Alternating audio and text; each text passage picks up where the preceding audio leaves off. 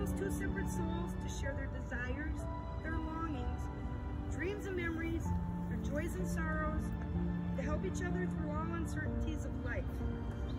A strong marriage also nurtures each other as each of you as separate individuals and allows you to maintain your unique identity and grow in your own way through years ahead. It is a safe haven for each of you to become your best self. While together you can become better than you ever could grow, even when it is difficult to do so. It takes faith to go forward together without knowing what the future holds for you both.